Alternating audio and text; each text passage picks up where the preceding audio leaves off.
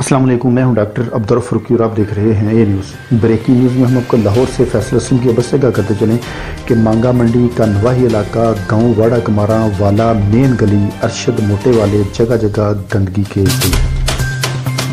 गटरों के ढक्कन भी गाए इलाके की आवाम परेशान, सरापा एहतजाज अलाकाम से फौरी नोटिस लेने का मुतालबा।